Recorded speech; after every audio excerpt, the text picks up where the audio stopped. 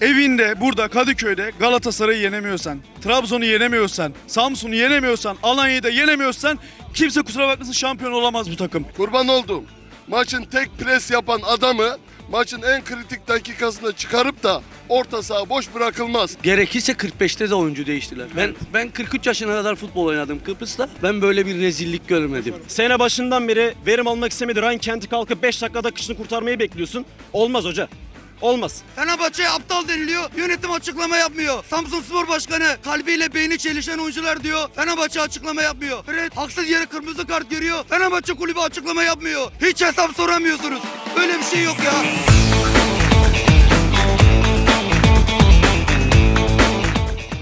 İsmail Hoca kesinlikle yaptığı yanlış oyuncu değişiklikleriyle geç kalmasıyla gerçekten maçı gerçekten verdi. Livakovic inanılmaz kötü goller yedi. İkinci gol asla yenmeyecek bir gol. Atlasa alacak. Atlamadı. Resmen bizi burada sinir ettiler. Yazıklar olsun diyorum. 3 aydır kadroya almayan kadroda olmayan Rankent 70 80. dakikada oyuna giriyor kurtarıcı, kurtarıcı olarak. Bu bu takıma Emre Mor ne yaptı da bu hocaya oynatmıyor? Maldonado'yu özleyen Fenerbahçe taraftarına Allah şey e, kurun içi verdi. Yani biz e, yıllarca bu Maldonado nereden geldi diye dalga geçerken sanki hiç yönetim yememiş içmemiş bu taraftar Maldonado'yu çok özledi. O da futbolu bıraktı yerine bir kurun iç var demiş. Onu almış gelmiş. Biz böyle bu kafayla İsmail hocam kurban oldum. Maçın tek pres yapan adamı maçın en kritik dakikasında çıkarıp da orta saha boş bırakılmaz. İsmail. Oyunu orta saha alır. İsmail hocam kazanla uğraşacağına orta sahayla uğraş. Kurban olayım. Fred'in olmadığı yerde kurun işte falan bu iş olmaz kardeşim. Bir de bir de bu Fenerbahçe'ye bitirici lazım. Hep söylüyoruz. Ceko evet iyi bir adam ama hayatı boyunca çift forvet oynamış. Yanındakine top indirip gol attırmış bir adam. Yok kardeşim bugün dört tane yine gol kaçırıyorsun. Bu kadar kaçıran takım şampiyon olmaz. Ben Kıbrıs'tan geldim. Bu takım bu kafayla bir 10 sene daha şampiyon olmaz. Bizim yaptığımız iyi hoca, hoca alıyor, iyi futbolcu almıyor. İyi futbolcu alıyor, iyi hoca almıyor. Hiçbir hoca 70-80 dakika beklemez. Kenti sen sildin, kenti atıyorsun. Adamı günah keçesi yapıyorsun. Taraftarın önüne atıyorsun. Bu takımda Em- Emre gitmezdi, Zayis kalmazdı. Crespo gitmezdi. Ama bu kafa 60 dakika beklemez bir antrenör. Gerekirse 45'te de oyuncu değiştiler. Ben ben 43 yaşına kadar futbol oynadım Kıbrıs'ta. Ben böyle bir rezillik görmedim.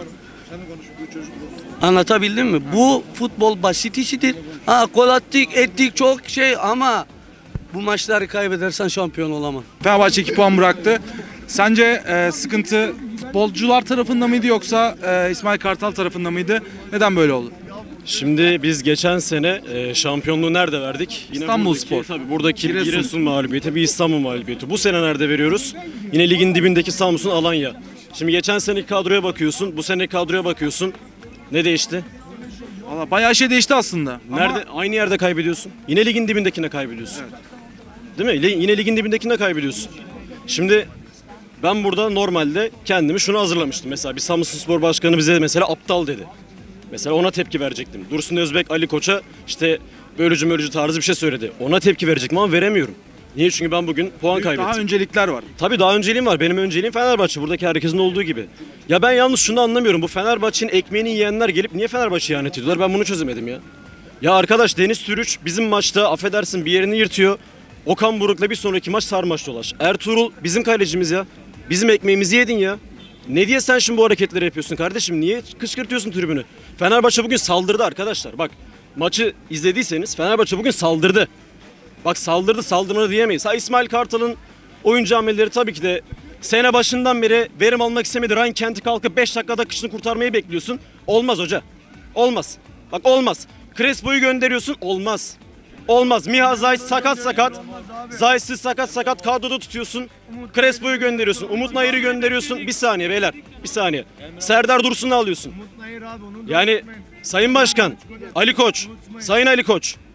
Yaptığın doğruyu 6 senede bir tane doğru yaptın zaten. Tamam mı? Şimdi konuşma bizi burada. Onun da içine ediyorsunuz. Onun da içine ediyorsunuz abi. Devre arası transfer politikanız yanlış kardeşim. Yanlış. Tamam mı? Ayrıyeten şu Alanya Spor'a bir gelelim. Tamam mı? Ben aynı mücadeleyi Galatasaray maçında bekliyorum. Bak aynı mücadele, aynı çirkefliği, aynı şeyleri Galatasaray maçında bekliyorum kardeşim. Galatasaray maçında da bu hareketleri yapacaksın. Beşiktaş'ı da gerçi yendi ama hani onlara da yapacaksın. Ya bu Fenerbahçe gelince ne bu düşmanlığınız sizin ya? Beşiktaş'a yapacaklarını yaptılar abi. Beşiktaş'a skor olarak yaptı. Fenerbahçe'yi çirkeflik olarak yapıyorlar. Ya arkadaş birazcık kendinize gelin. Ya karşı Fenerbahçe yenilir, Türkiye'nin yarısı sevinir. Fenerbahçe derbi oynar, Türkiye'nin yarısı taraf olur. Selçuk Yula ne dedi? Bu ülkede ya Fenerbahçelisin ya da Fenerbahçe düşmanısın. Tamam mı? Bu kadar abi. Bu kadar. Yani bu bu tarz bu tarz tamam mı? Yani rakip takımın ya Galatasaray da şu anda şampiyonluğu oynuyor. Onlar da yattı burada mesela. Alanya küme oynuyor. Onlar da yattı burada. Şimdi ne farkınız kaldı sizin ya? Ne farkınız kaldı? Fenerbahçe'ye gelince yatarak oynuyorsunuz. Ben burada demiştim burası genel ev değil. Burası Fenerbahçe stadı diye.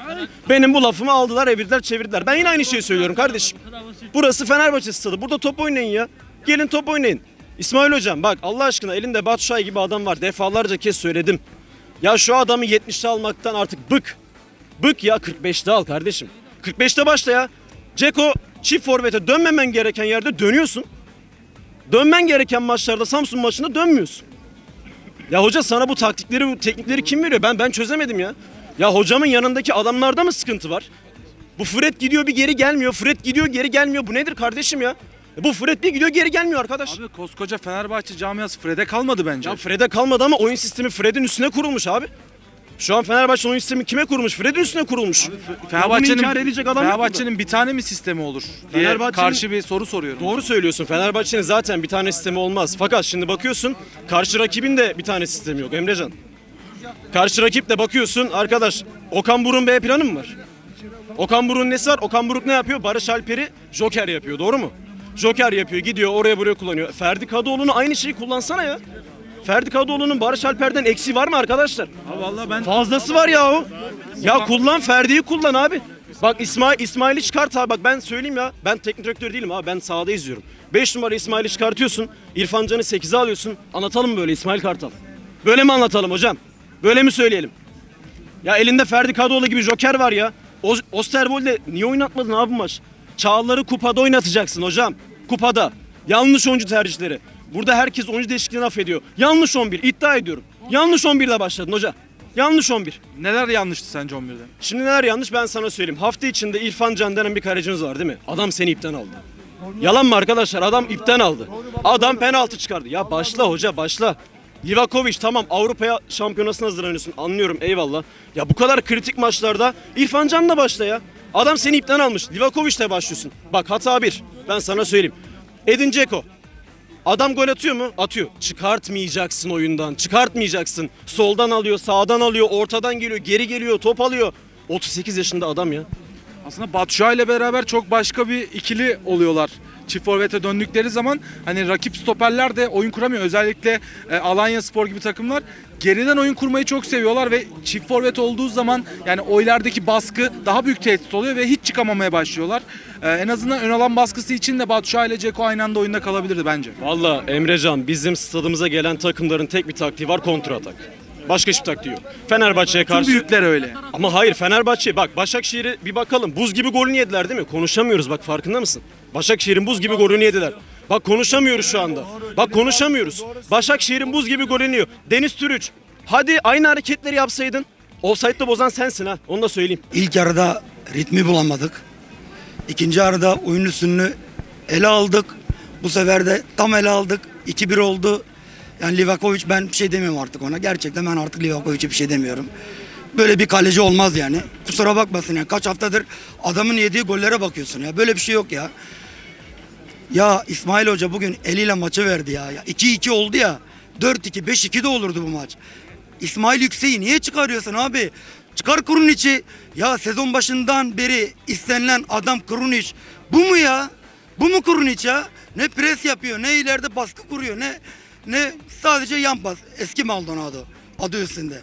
Yani eğer Fenerbahçe şampiyon olursa bu sezon İsmail Kartal'a rağmen şampiyon olur. Maalesef bunu söylemek zorundayım. Maalesef bak ben İsmail Kartal'a çiçek verdim. Destek verdim. Her şeyi yaptım. Ben İzmir'den sürekli maça 3 aylık bebeğim var. 3 aylık bebeğimi bırakıp ben maça geliyorsam sen de oyunu okuyacaksın kardeşim okuyacaksın. Bak İsmail hocam lütfen ama sürekli aynı hatayı yapıyorsun. Destek destek destek ama nereye kadar? Bu, bu kulüp 10 yıldır şampiyon olamıyor. 10 yıldır şampiyon olamıyor. Sağ dışında da inanılmaz ama inanılmaz inanılmaz beceriksiz bir yönetim var. Böyle bir şey yok ya. Malum camia. Her hafta e, rakiplerinin iki oyuncusu ya e, sakatlanıyor, artık bir şeyler mi oluyor, ya kadro dışı kalıyor, ya bilerek kart görüyor. E, Fenerbahçe'nin e, maçlarına gelince e, siyasi güçler, iktidarlar kusura bakmayın, e, rakip takımın antrenmanlarını ziyarete gidip onlara moral veriyor. Ya Ali Koç Başkan, senin bu konuda hiç mi gücün yok? Sen hiç mi açıklama yapmayı ya sen doğru konuşsan bile masayı yumruğunu vurarak konuşmuyorsun abi. Böyle bir şey olamaz. Ya ben yani inanılmaz ya. Ee, adamlar Emre Taylan, bu Okan yani bir, bir dakika. Bak E- Emre, Okan, Taylan yani bunlar a- a- akıllarıyla beyni çelişen oyuncular. Bu Samsun Spor Başkanı sen kalkıp Fenerbahçe'ye aptalca puan kaybediyorsun. Ya sen kimsin ya? Sen kimsin Fenerbahçe'ye aptal diyorsun? Sen Fenerbahçe'ye aptal derken önce bir Fenerbahçe'nin ağzını alırken bir besmele çekeceksin sen. Fenerbahçe'nin ağzına öyle aptal falan diyemezsin sen. Hayırdır ya? Deniz Sürüç kimsin sen ya? Hayırdır ya? Ertuğrul sen kimsin abi? Ayıp ya. Bu Fenerbahçe'nin eski oyuncuları niye Fenerbahçe'ye hayvan gibi savaşıyor böyle? Niye Galatasaray'ın oyuncuları hepsi yere yatıyor? Hepsi hepsi penaltı. Hepsi penaltı yaptırıyor oyuncularına. Hepsi kart görebilerek şaibe şaibe şaibe. Fenerbahçe'ye aptal deniliyor. Yönetim açıklama yapmıyor. Samsun Spor Başkanı e, kalbiyle beyni çelişen oyuncular diyor. Fenerbahçe açıklama yapmıyor. Fred haksız yere kırmızı kart görüyor. Fenerbahçe kulübü açıklama yapmıyor. Hiç hesap soramıyorsunuz. Böyle bir şey yok ya. Gidiyorsunuz Mehmet Ekşi'ye. Mehmet Ekşi ile kol kolasınız halen ya. Böyle bir şey yok. Ali Başkan Allah aşkına şampiyon olsak bile bırak git ya. Vallahi bir şey demiyorum. Hakkım haram olsun size. Şampiyonluk yolunda büyük bir yara diyebiliriz. Ee, çünkü Fenerbahçe sahasında kaybetti 2 puanı. Abi neden böyle oldu? Neden Fenerbahçe 2 puan bıraktı burada Alanyaspor karşısında? Gerçekçi olmak lazım. Ee, ister istemez takımlar İsmail Kartal'ı çözüyor. 70-72 dedi mi oyuncu değişikliği yapıyor. Kusura bakmasın ama İsmail Kartal maalesef bir B planı hala yok. Bir iki maç böyle B planı var gibi gözüktü ama yok. Senin e, senin e, nasıl diyeyim Ryan Kent'i oynatmadığın adamı kurtarıcı olarak oyunu alıyorsun. Dakika 86 87 artık her neyse. Ve ister istemez ya sen kendi evindesin. İster istemez ya sen çift forvete dönmek zorundasın. Sen Ceko dediğin adam yaşlı başlı diyoruz ama adam sahanın her yerinde. Biraz gerçekçi olalım. Sen Başşuay evet oyunu almalısın. Ki dedi Ama ki Ceko'yu çıkararak değil. Kesinlikle değil yani. İsmail Yüksek dedik çıksın ama İsmail Yüksek çıktı bu sefer de. Ne oldu? Orta saha tamamen düştü. Ya kusura bakma da İsmail Hoca. Sen Crespo gibi adamı sen yani Zayt diye tutturdun, tutturdun, tutturdun. Zayt'ı takımda tuttun. Ya Crespo'yu bu takımda tutacaktın. Kusura bakmasın. Bu mağlup yani bu beraberlik İsmail Hoca'ya yazar. Yani biz burada zaten nelerle uğraştığımızı biliyoruz. Hakemlerin vücut dilini vesairesini vesairesini vesairesini hepsini biliyoruz. Ama sen bir de bunların üstüne tuz biber ekersen kusura bakmasın İsmail Hoca. Yani bu puan kaybı İsmail Hoca'ya yazar. Abi şöyle bir Çünkü şey de var. klasik hep aynı oyuncu değişikliği.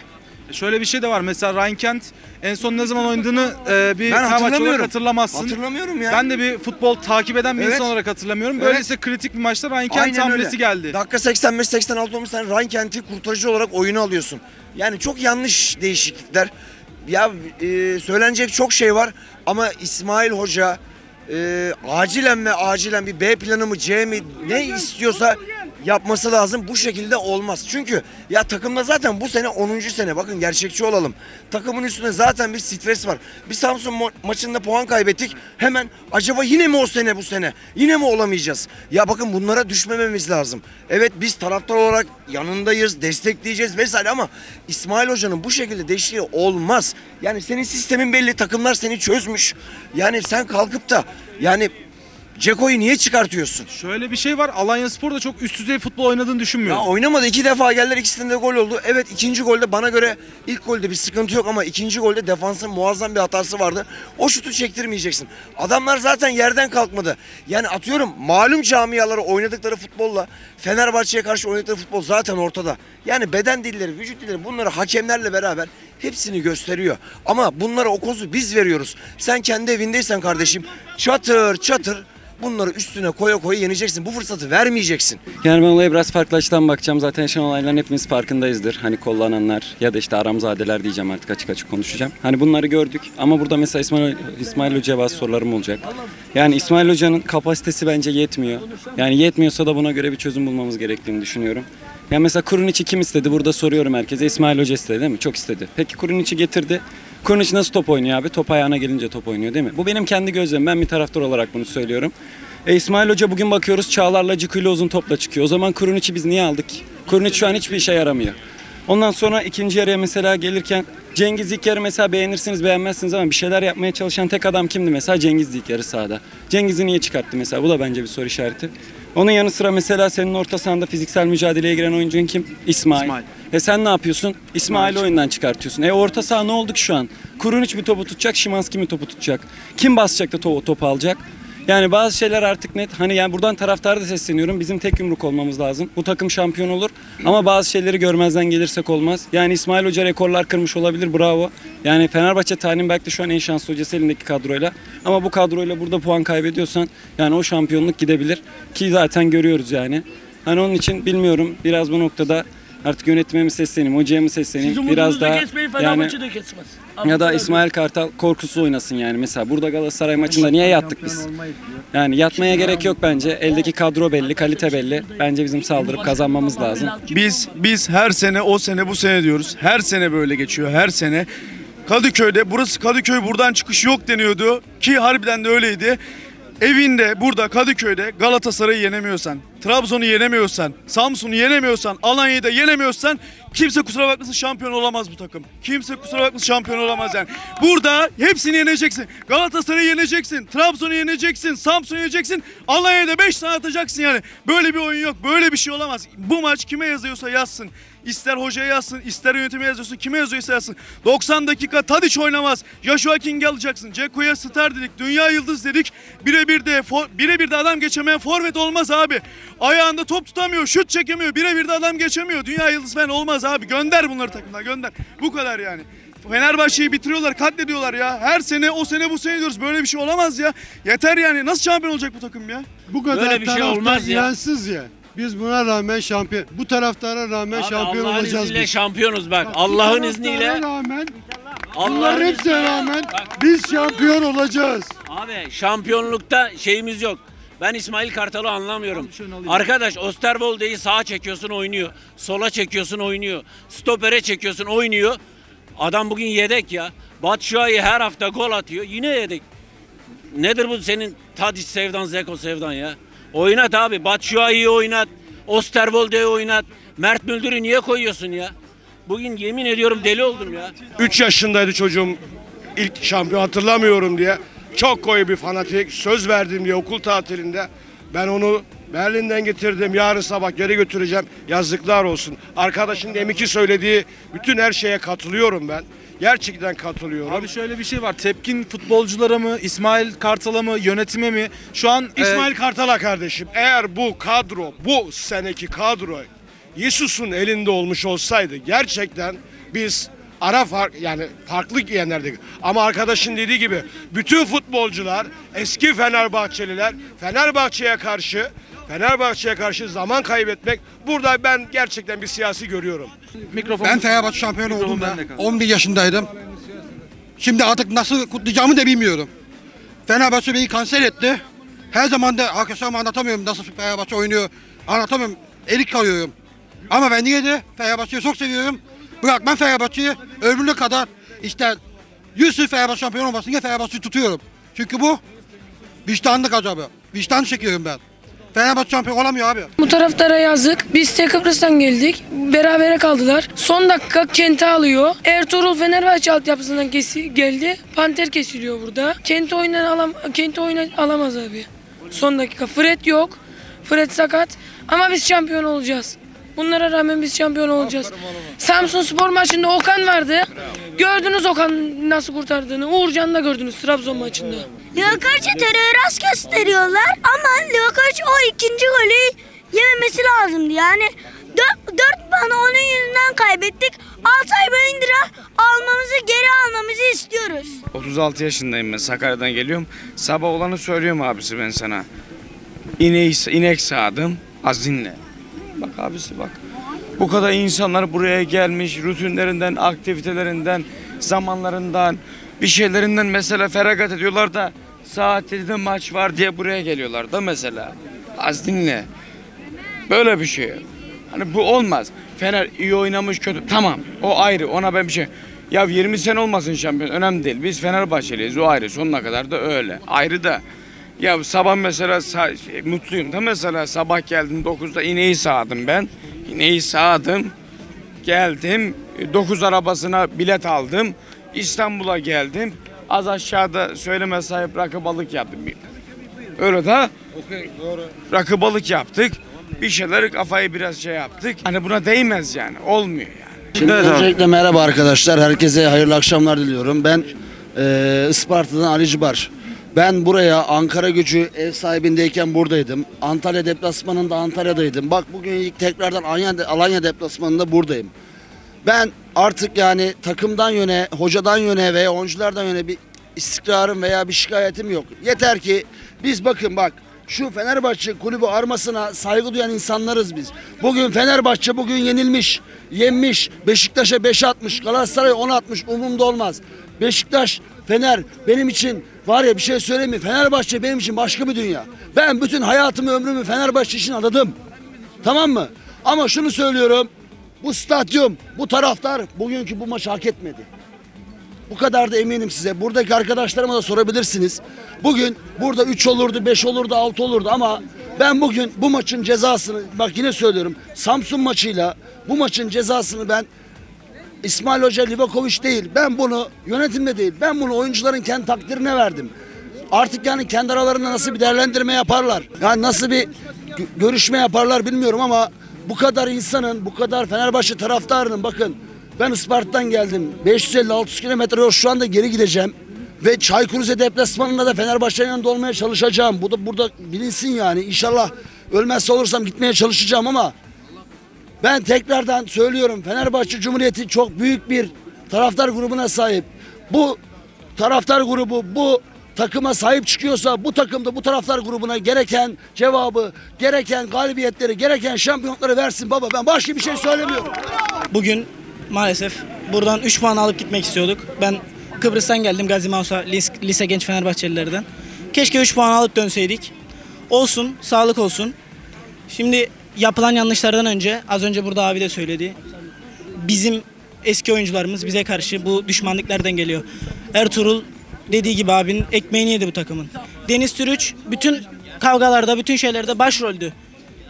Adamların Galatasaray'ın eski oyuncularına bakıyorsun. Belhanda hepiniz hatırlayacaksınız. Orada Samiyen'de şut çekmedi ya adam. Bilerek şut çekmedi ya. Açık ve net bilerek şut çekmedi. Bize gelince ama burada oynuyorlar. Yok gidiyor taraftara ağlama falan. Hayırdır yani sen halen daha Galatasaray'ın futbolcusu musun? Bu nasıl böyle bir şey olabilir ya? Şu anda yani e, konuşacağız çok şey var. Ben Kars'tan geldim. 1500 kilometre yoldan gelmişim. Şu anda benim uçağımın kalkmasına yarım saat var.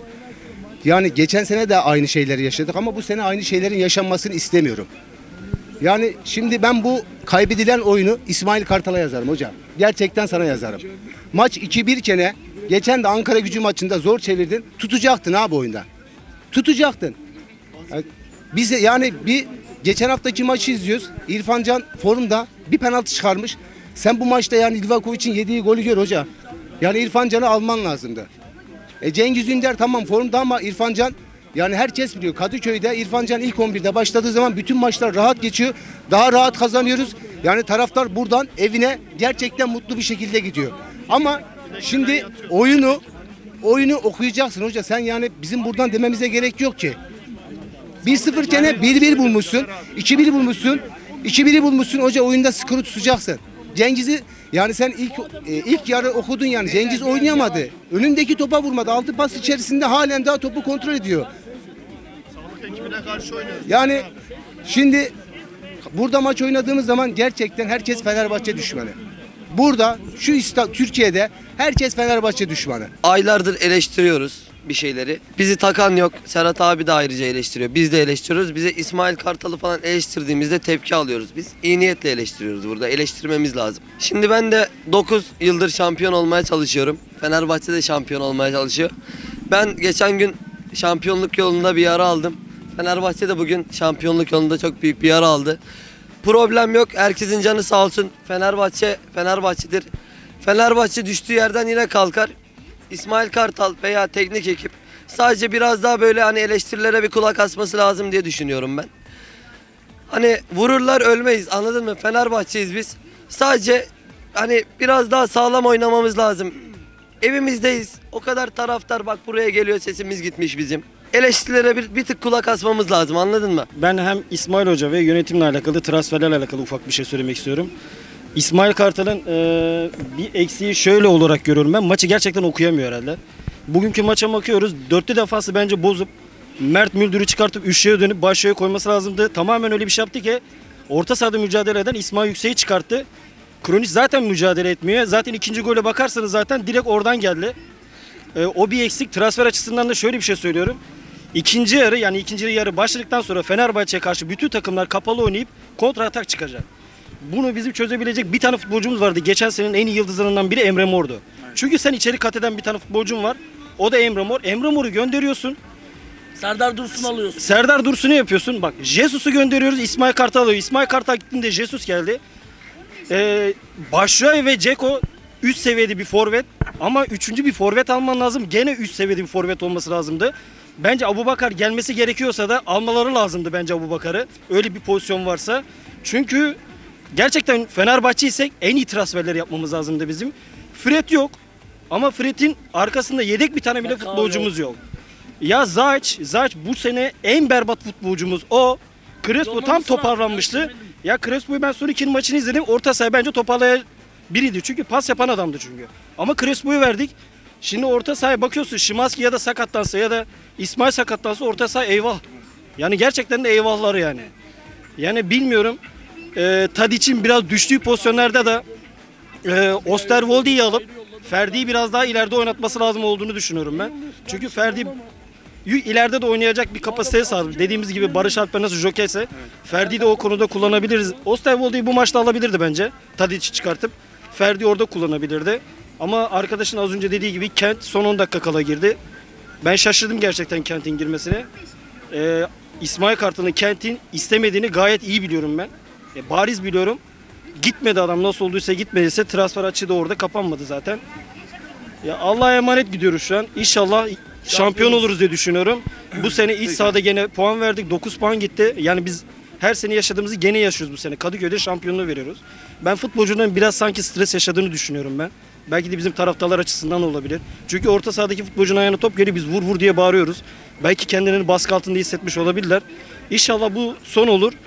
Yönetim ve teknik ekip bugün belki de toplanır da bir şapkalarının önüne koyup biraz düşünürler diye düşündüğümü düşünüyorum. Evet Fenerbahçe Alanya Spor'la 2-2 berabere kaldı ve biz de videonun sonuna geldik. Videoyu beğendiyseniz like butonuna basıp kanala abone olabilirsiniz. Sizi tabii ki de çok seviyorum.